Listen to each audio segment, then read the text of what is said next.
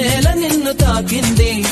నేను నిన్ను తాకితే తప్ప గాలి ఊపిరైంది నీల నన్ను నడిపింది ఏమిటంట నీలోని గొప్ప?